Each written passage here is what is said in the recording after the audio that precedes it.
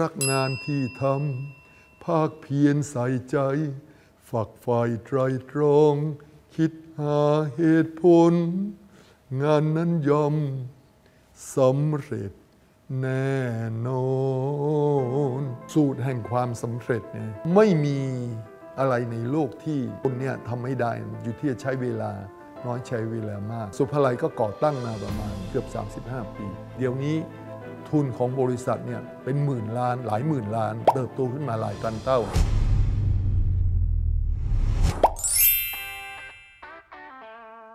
ตั้งแต่ผมทำที่อยู่อาศัยมาเนี่ยในวงการอสังหาริมทรัพย์มาก็ 40 กว่าปี สุภาลัยก็ก่อตั้งมาประมาณเกือบ 35 ปี เราเน้นเรื่องของ sustainability การเติบโตอย่างยั่งยืน เราเน้นเรื่องของคุณภาพ เรื่องของการบริการ เรื่องของลูกค้าเป็นหัวใจ การออกแบบมันจะต้องประกอบด้วย 2 ส่วน ส่วนหนึ่งคือ วิทยาศาสตร์ อีกส่วนหนึงคือศิลปะ เราต้องพิจารณารอบด้าน ต้องรู้เรื่องของสังคมวิทยาจิตวิทยา เรื่องของพฤติกรรม มนุษย์ การประหยัดพลังงาน เรื่องของวงจุย้ยฮวงจุ้ยมันแปลว่าลมกับน้ำลมคือตัวแทนของภูมิอากาศ จุ้ยคือตัวแทนของภูมิประเทศ คือมันเป็นหลักวิทยาศาสตร์คือว่าถ้าเราเข้าใจภูมิประเทศดี ภูมิอากาศดี เราก็จะสามารถออกแบบ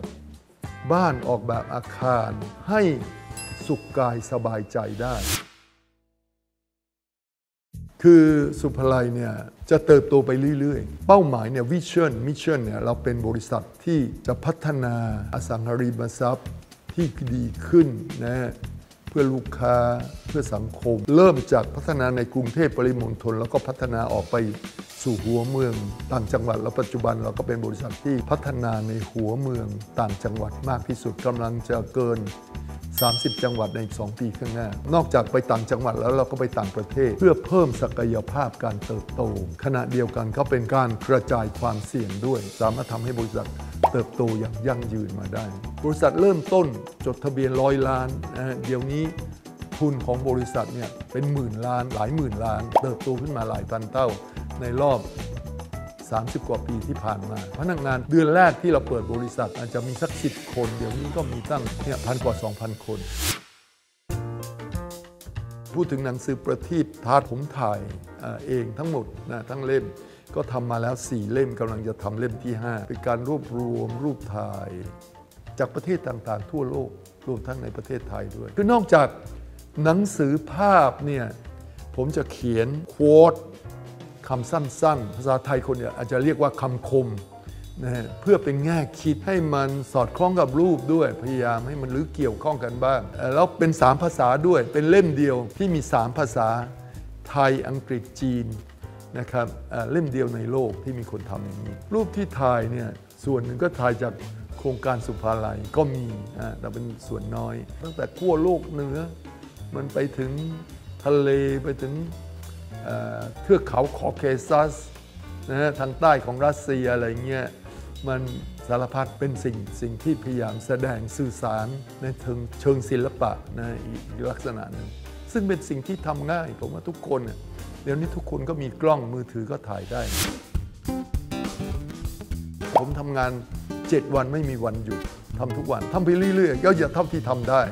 นะแต่ก็จะมาในเชิงเชิงนโยบาย เชิง ภาพกว้างในระดับ strategy เรียกว่าเชิงกลยุทธ์ ออกแบบผมก็ยังออกแบบอยู่ทุกวัน ผมก็จะแนะนำในเชิง conceptual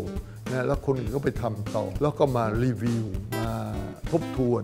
แบบว่าคนจะปรับปรุงพัฒนาอะไรต่างงานออกแบบเหมือนเป็นงานอดิเรกนะรู้สึกทำงานเหมือนเป็นความสุขเหมือนเหมือนได้พักผ่อนไปในตัว ได้เล่นเกมได้ในเชิงวิทยาศาสตร์ทั้งศิลปะด้วยเล่นเกมชนะ เล่นเกมแล้วเราทำได้ หรืออะไรอย่างเงี้ยมันเป็นความสุขอย่างทำงานด้วยท่องเที่ยวไปด้วย คืองานกับการพักผ่อนหย่อนใจการท่องเที่ยวมันกลืนไปมันเป็นเรื่องเดียวกันนะท่องเที่ยวไปก็ดูงานไปด้วย แล้วเขาวิเคราะห์ไปด้วยเออทำไมเขาทำไม่เหมือนเรา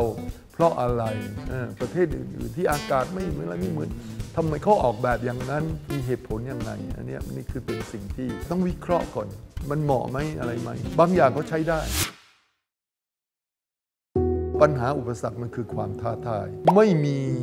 อะไรในโลกที่คนเนี่ยทำไม่ได้อยู่ที่จะใช้เวลาน้อยใช้เวลามาก ความท้าทายนี่คือความสุขความต้องการทางจิตวิทยาของคนที่ว่าคือทำในสิ่งที่เราไม่เคยทำได้ แล้วเราทำสำเร็จเรามีความสุข แต่